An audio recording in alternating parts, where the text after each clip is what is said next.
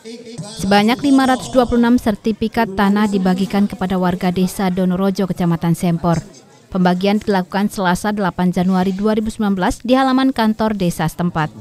Kegiatan dihadiri Camat Sempor Sugito Edi Prayitno, anggota Forkopim Cam, dan ratusan masyarakat.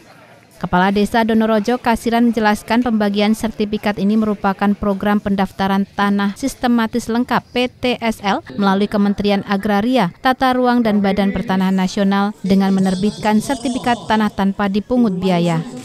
Semenjak program tersebut dicanangkan sedikitnya 3.019 bidang tanah milik warga desa telah didaftarkan. Bulan Maret April pemerintah Donorojo mengajukan permohonan untuk program PTSL pendataan tanah sistem lengkap.